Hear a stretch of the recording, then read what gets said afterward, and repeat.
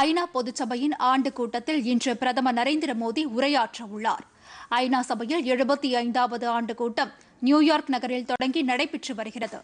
Corona தொற்று காரணமாக பல்வேறு நாடுகளின் தலைவர்கள் காணொலி மூலம் இந்த கூட்டத்தில் உரையாற்றி வருகின்றனர். சில நாடுகளின் தலைவர்கள் ஆற்றிய உரை வீடியோ காட்சியாக கூட்டு அரங்கங்களில் திரையிடப்படுகிறது. பிரதமர் நரேந்திர மோடியின் காணொலி உரை இந்திய நேரப்படி இன்று மாலை ஆறு முப்பது மணிக்கு ஐநா சபை நடைபெறும் கூட்டு அரங்கில் ஒளிபரப்பாக உள்ளது.